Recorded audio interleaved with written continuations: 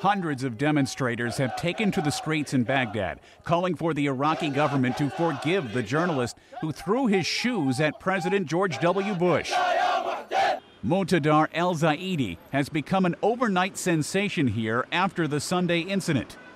For those of you who didn't see or simply can't get enough of it, El Zaidi shouted at Bush during a news conference Sunday and then threw both of his shoes at him.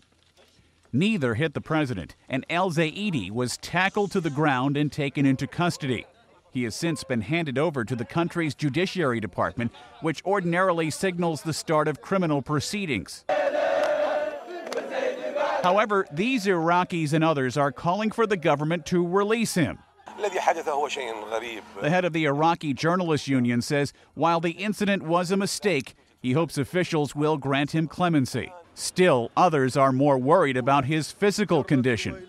El Zaidi hasn't been seen since the incident, and his employer says he was seriously injured in the aftermath, although others say he's in good health.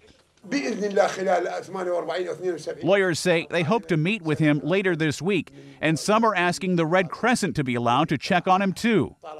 The White House says the president bears no hard feelings toward the man and trusts the Iraqi government and judicial system to handle the matter. The incident is still getting plenty of airtime around the world, and on Monday, Venezuelan President Hugo Chavez got a chuckle watching it on TV. The longtime Bush foe says it's a good thing the president wasn't hit, but still says he admires the courage of the man. Ed Donahue, The Associated Press.